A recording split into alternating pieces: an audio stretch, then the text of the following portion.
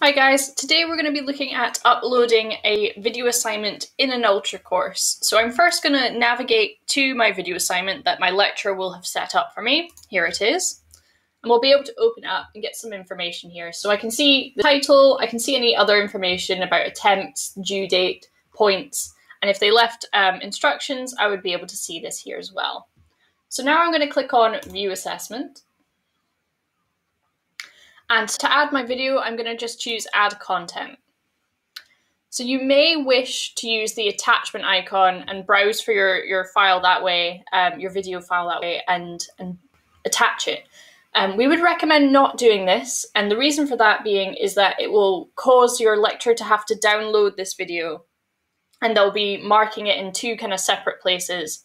Um, so to make it easier for everyone, what we're going to do is choose this little plus icon, insert content, and go all the way down to LTI item.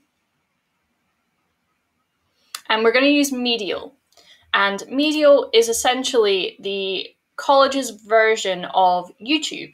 So it will allow them to stream the video without having to download anything. So if you've already added a video to Medial, you can just use search uh, and you could then go and find it. So you could keyword search, look for the title um, of, of your video, um, there we go, keyword search, look for the title of your video and find it this way. However, if you've not already uploaded yours and you can't search for it, you can choose upload. You could also record from here as well. So if you know you haven't recorded anything yet, but you would like to record from here, you can. But I'm going to choose upload just so we can see how it works. And now I'm going to choose browse. I'm just going to use this video here um, so things to note with your video, uh, it can sometimes take a while to upload and this is due to the size of the video. And we're talking size, not length here. Um, so if you, for example, had used your phone to record, in many cases, most smartphones will default to the highest setting. And depending on your smartphone, this setting could be up to 4K. It's entirely possible that you don't need a 4K quality video, and if that's the case, before you record, check your settings on your phone and maybe see about uh, doing it in a slightly lower setting to reduce the size. Um, other things you can do is if you have recorded it in 4K, you could maybe use a video editor or something on your phone to compress the size of the video to make it a little bit quicker to upload. So once we're at 100, we're going to just hit next. We'll give it a title, so you could, um, whatever the name of your assessment is, or even give it your own name, uh, you know, Amy Assessment. Um, you can give it a description as well, just quite basic. Um, here is the submission.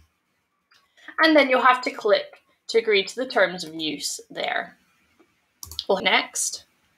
Now we're going to just quickly choose a thumbnail from our video. You can upload your own if you want. Um, so you could upload a nice titles um, slide or something, but I'm just going to choose this one. I'm not too fast. Um, you can add associated files. So if there was a worksheet or you have a report that you would like to add to this, you can add it here as well if you want to. But I, I don't, so I'm just going to leave it. I'm just going to hit next and just check that all these details are correct here before I hit next again. So it's been uploaded uh, and what it will do is I will just call this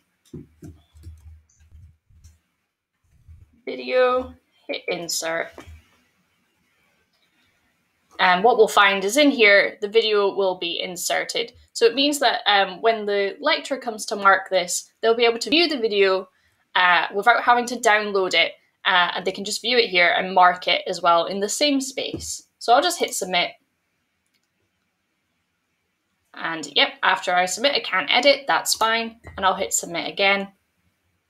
And there we have it. I've now uploaded a video to a video assignment, um, which can be streamed, doesn't need to be downloaded, and the lecturer can mark that and give me my grade later.